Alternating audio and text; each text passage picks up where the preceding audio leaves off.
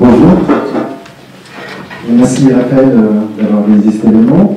Euh, donc oui, l'idée c'est de, de faire un échange euh, donc, euh, avec Marion et, et sur votre retour d'expérience, euh, retour de- des communautés digitales. Et ce que je vous propose, propose, c'est de commencer par présenter votre activité, euh, chacune de votre tour. Bonjour, donc euh, moi, je suis responsable internet et réseaux sociaux euh, à Apprenti d'Auteuil. Donc Apprenti d'Auteuil c'est une fondation catholique qui est reconnue d'utilité publique depuis 1929. C'est une maison qui a quasi 150 ans et euh, notre mission principale est d'accueillir et éduquer euh, la jeunesse en difficulté. Donc euh, Tiffany ATD Carmonde. Euh, ATD Carmonde, ça date de 1957. Euh, c'est important de savoir que ça a été créé dans un bidonville de Noisy-le-Grand, euh, suite à l'hiver 54, dont on entend beaucoup parler ces jours-ci.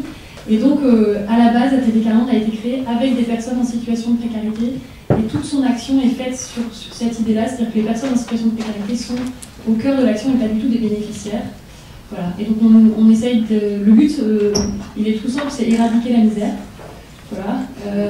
Et donc on agit à la fois sur le plan des institutions, euh, gouvernement, etc., pour essayer d'obtenir des lois qui, soient plus favorables aux personnes en, situation difficile. Euh, sur le terrain, évidemment, euh, vous pouvez telle personne à, obtenir un logement, voilà.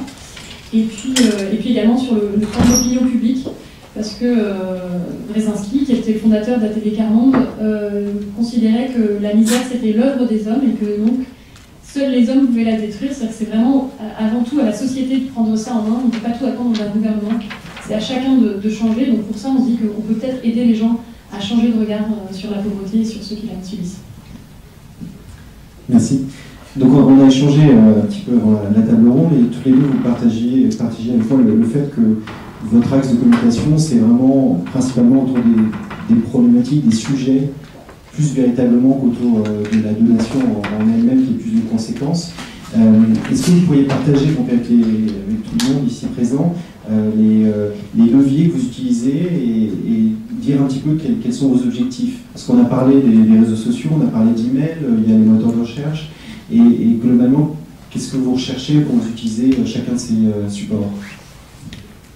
Euh, non, nous, c'est surtout ce dernier, en rapport avec le dernier point que viens d'évoquer, c'est-à-dire c'est le changement de, regard, la sensibilisation à ce que vivent les personnes en situation de pauvreté en France aujourd'hui et, euh, à ce que chacun peut faire pour, euh, changer les choses. Donc notre présence euh, sur Internet, elle est beaucoup liée à ça.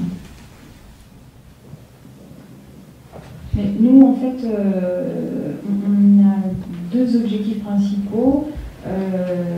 C'est premier objectif, effectivement, faire connaître euh, toutes nos actions et elles sont assez larges. Euh,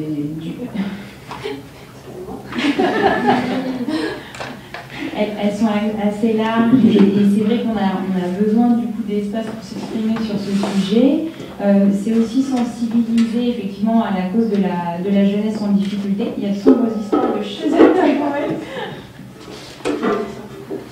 Et deuxième objectif, c'est euh, travailler aussi la notoriété de la marque, si je puis dire, euh, Apprenti d'Auteuil, puisque euh, bien que nous soyons une fondation importante avec beaucoup, beaucoup de sujets et une histoire très importante aussi, on n'est pas forcément très connu du, grand public. Donc c'est un vrai enjeu pour nous que de se servir d'Internet et des réseaux sociaux pour accroître la notoriété de la fondation.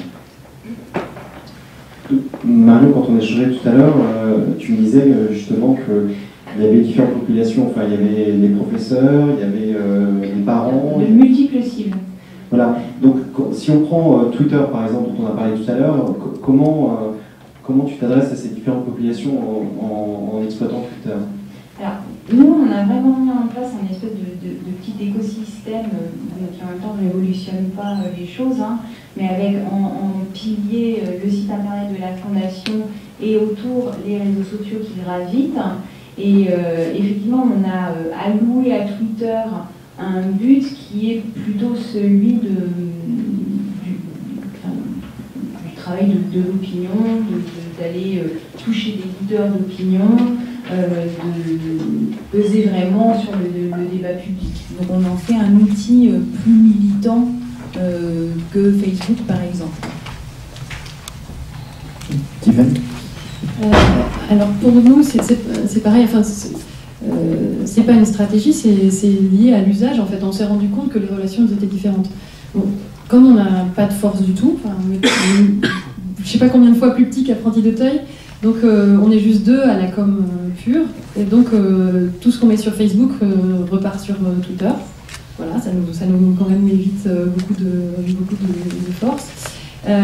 Et, après ça, sur Twitter, effectivement, on, essaye d'avoir des liens. on, a eu quand même, finalement, on se rend compte pas mal d'interactions avec des journalistes, ça c'est sûr, ça a déclenché beaucoup de reportages ou, d'articles, en bref, euh, Euh, et, avec des ministres, en fait. On se rend compte depuis quelques mois que, les ministres se mettent à nous suivre avant même qu'on les ait suivis. Alors ça, c'est à chaque fois on ouvre le champagne, enfin voilà. Euh, et, sur Facebook, c'est plus une relation beaucoup avec nos déjà membres, je veux dire. Euh, c'est presque plus intime en fait. C'est complètement n'importe quoi parce que c'est quand même énorme le nombre de personnes qu'il y a, mais on se rend compte que nos membres, et notamment les personnes en situation de pauvreté, sont très présents sur Facebook. Euh, je me rappelle d'une dame qui m'avait, ça m'avait beaucoup touchée. Euh, un jour, à la fin d'une formation à prise de parole qu'on avait organisée, elle me dit Tu sais, ça y est, Tiffen, on l'a le logement. Ils vivaient dans une, dans une maison, ils venaient d'avoir le papier le matin même qui leur disait qu'ils allaient avoir un, logement. Elle me dit Dès que je suis dedans, j'achète un ordinateur d'occasion et je vais sur Facebook. C'était vraiment le truc. Euh, et en fait, on se rend compte, c'est beaucoup le lien entre nos différents membres en France qui peuvent se rencontrer quand on a des actions.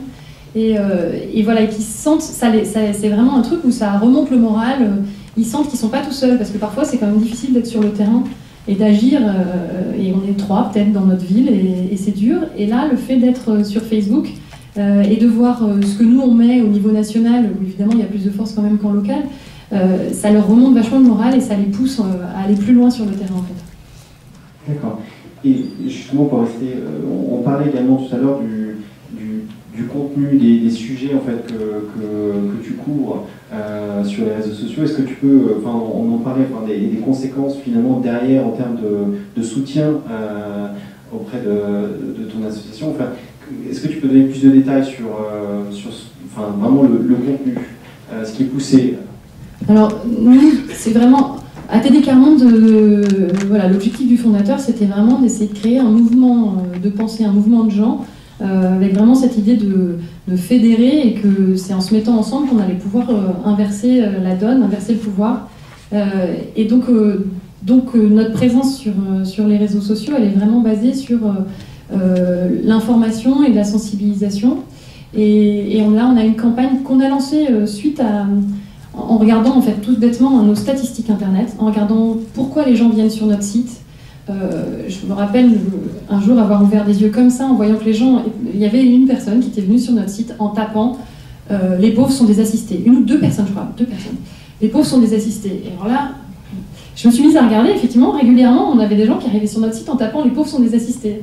Et donc je me suis dit, mais euh, pourquoi ils viennent sur notre site? Comment ils sont arrivés là? Enfin, et puis, et puis comme on a évidemment toujours pour objectif d'augmenter le nombre de personnes qui viennent sur notre site et qu'on sait comment fonctionne Google, j'ai vu avec mon collègue qui est, avec lequel on est co-responsable du site, euh, je lui ai dit, mais en fait, si on écrivait ça, si on écrivait un article dont le titre c'est Les pauvres sont des assistés, mais derrière on y répond, on dit ce que nous on en pense, et on, apporte nos réponses.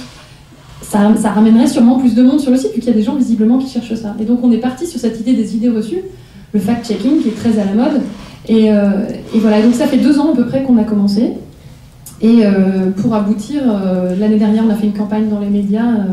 les médias nous ont offert des pages de publicité. On a eu à peu près 300 médias qui nous ont offert des pages. avec, en, l'occurrence, on avait choisi deux, deux idées reçues. C'était une, on s'en sort mieux au RSA cosmique. Et l'autre, c'était les pauvres sont des fraudeurs, et où on comparait en fait le montant de la fraude des gens au RSA et le montant de la fraude fiscale qui, était tellement grande qu'elle sortait même de l'affiche euh, voilà, en proportion. Et donc voilà, donc, euh, notre, notre discours, euh, il, est, il, est, beaucoup là-dessus.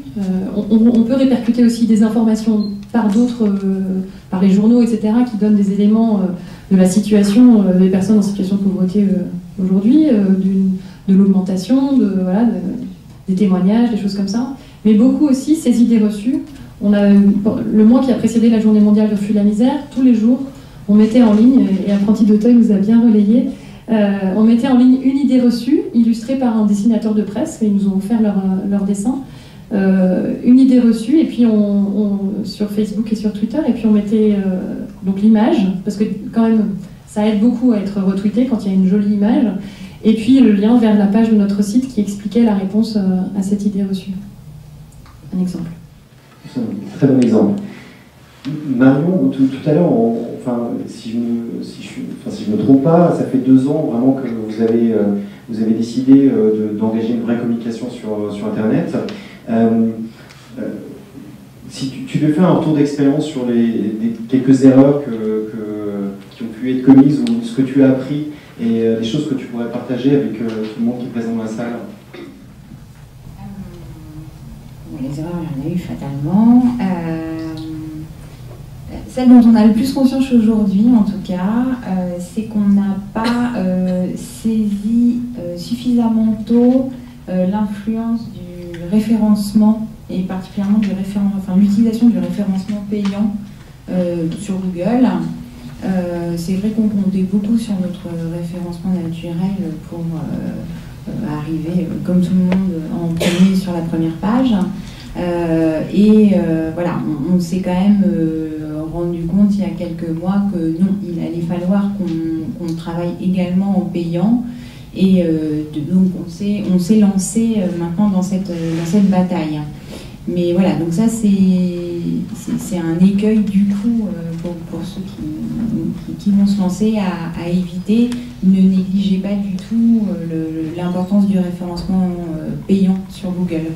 C'est, un vrai plus et euh, nous, on a, on a commencé à y travailler vraiment très sérieusement, euh, euh, je sais pas, au mois d'octobre ou de novembre, et on en a déjà les fruits. On a vraiment plus de trafic et plus de trafic qualifié sur notre site. Donc c'est un vrai plus. Et tu me parlais également d'un programme Google ah oui, alors il, existe effectivement pour les ONG sur Google un programme qui s'appelle Grants, Google permet euh, d'avoir euh, X centaines d'euros de mots-clés offerts par mois. alors il y a plusieurs règles et conditions, mais c'est un programme auquel on, peut souscrire en tout cas quand on est, quand on est une ONG. Merci. Maintenant, enfin, on, l'a vu tout à l'heure, on parlait de Twitter, donc euh, l'individu qui finalement rapporte l'information avant, avant le journaliste. On est vraiment dans une ère de temps réel. Tu parlais euh, des recherches euh, sur moteurs de recherche qui, qui t'amènent justement à, prendre la parole sur des, sujets qui, finalement ressortent. La communauté, quelles sont, mais maintenant quand on se met dans ce contexte, quelles sont tes ambitions pour, pour 2014, Tiffany? euh, alors, euh, chez nous, il faut voir que euh, on, est sur, Facebook et sur Twitter parce que un jour, à la fin d'une réunion, d'une grosse réunion liée à la communication et tout, j'ai dit bah, il y avait un point que j'aurais voulu aborder, c'est est-ce que vous seriez d'accord pour qu'on crée une page sur Facebook? C'était fin 2008, je crois. Et, c'était la fin, ils n'avaient aucune idée de ce que c'était Facebook. Ils m'ont dit bah, vas-y, ouais, vas-y. Voilà, donc euh, ce qui fait qu'en fait, euh, ils sont tous, ils ont à peu près des profils Facebook, euh, il y en a quelques-uns que j'ai aidé à se lancer sur Twitter. Mais tout ça, c'est encore tellement nouveau qu'en fait, tout ce qui arrive par Facebook et Twitter, c'est toujours merveilleux. Donc en tout cas, on n'a aucun objectif fixé par, par, par, les responsables nationaux. Quoi. Et, après, bah, nous, notre objectif, c'est de, de, voir le trafic du site augmenter et les nombres de, de followers, etc., augmenter. Quoi. C'est le truc, euh, on est toujours content de voir ça. Mais on n'a pas. Euh, enfin voilà, on n'a pas un objectif euh, hyper précis ou quoi. Chiffré Ah non, chiffré, non. non. Déjà, t'es carrément les chiffres, c'est fou.